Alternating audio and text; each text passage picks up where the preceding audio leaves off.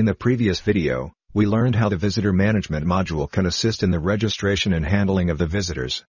In this video we will try to expand the receptionist's activities a bit by granting her extra rights and permissions. There are four tasks that our office assistant Sukiyo Tanaka likes to add to her duties as a receptionist.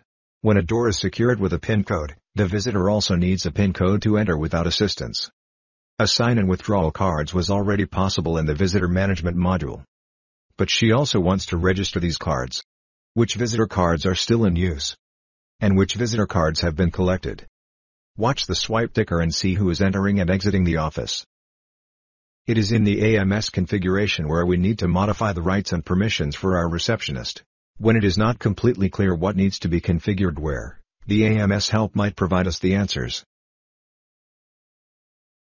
Here it shows us the procedures to follow the right route to our goal.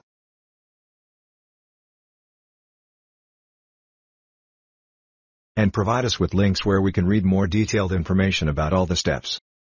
So if we want to understand how to construct the workstation profile for a specific user we can follow the link.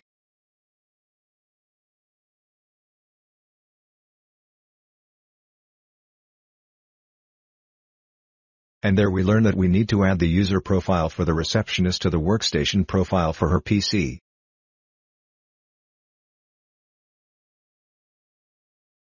Let's do that. First we will have a look at the current status of our office manager. She got a profile assigned in the previous video to do her receptionist duties in the visitor management module. But now we need to provide her extra rights to perform the additional tasks she requested. First we will create a new user profile with the proper rights. In personnel data the receptionist should be able to set the PIN codes. So we set that to yes and also the rights in the visitors and visitor cards menus need all to be set to yes.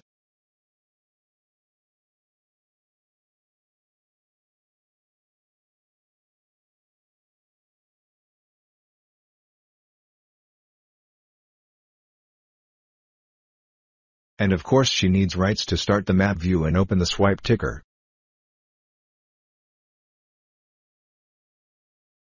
And finally we also provide her the visitor management receptionist rights in this profile. Now let's assign the just created profile to the user.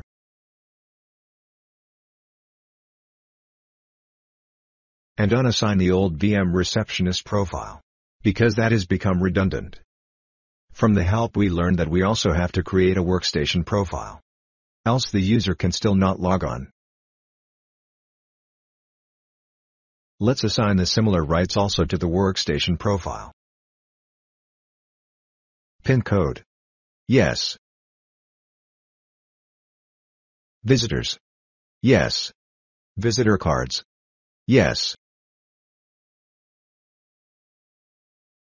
Map view. Yes. And lastly the special assignment. Where we need to assign the user profile to the workstation profile. That creates a combination of a user and a workstation. Final task is to add the workstation profile to the receptionist's computer.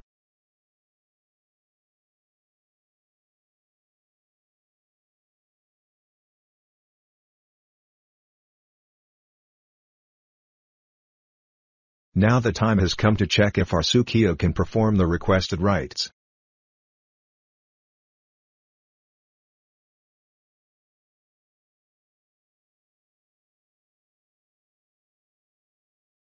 Start with the PIN code.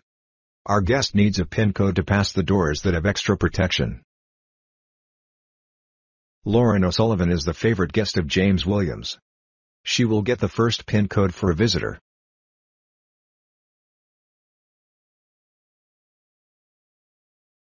First request. Checked.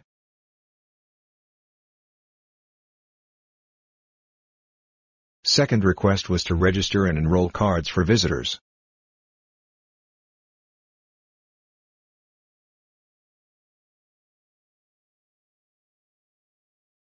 Second request. Checked.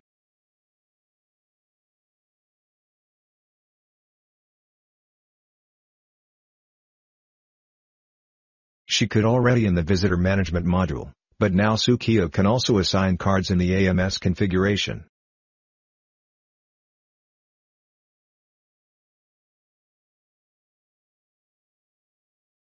And can she also see the status of the visits?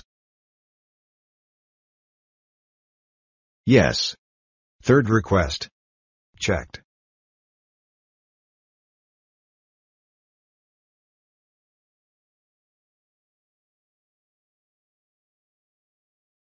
Now let's see if Sukiyo is able to enter the map view. She can. And can she also open the swipe ticker?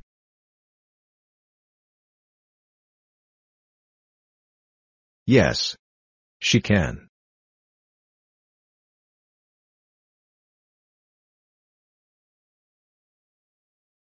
So also the fourth and the last request is fulfilled.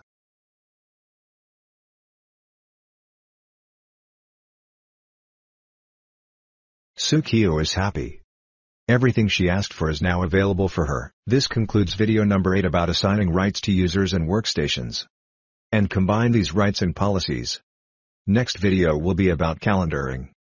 We will learn about date and time models and special days.